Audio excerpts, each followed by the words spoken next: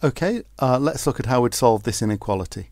Uh, the first thing we notice is it's got an x squared in it, which makes it a quadratic inequality.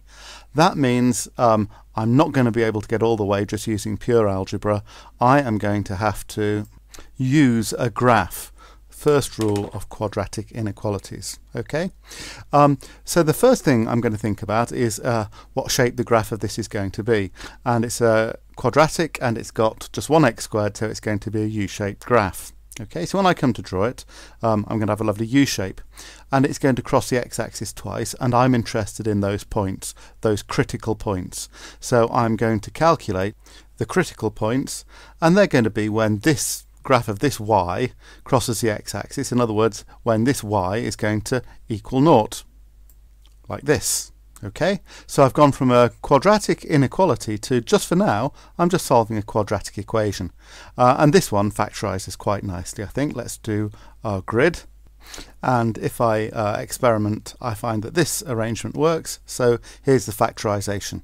And while I'm finding the critical points, I want this to equal zero. So we set up our possibilities.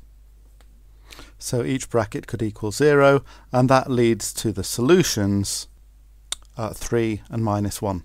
So I'm ready to use my graph. This was just finding out where the graph crosses the x-axis. I know it's got plus 1x squared, so it's going to be a nice smiley graph. Here's the x-axis. I don't need a y-axis. Okay, and these values are going to be minus 1 and 3. And now I decide um, where I'm going to be. I want to be less than 0. So on the x-axis, y equals 0. Above the axis y is greater than 0 and below it y is less than 0. So we always put those three things um, next to our graph. And I want to be less than 0.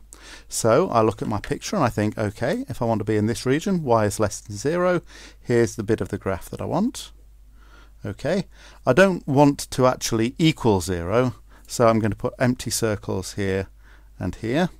Okay, so the x's I want, so that was looking vertically, deciding um, when the graph, then when y is less than naught. But I now want the x's that that works for. So the bit of the x-axis I want is again this bit in between.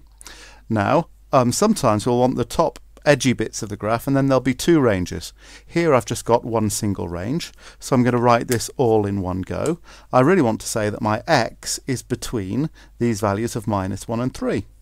So I put x between the minus 1 and the 3. And then I've just got to arrange my inequality signs correctly.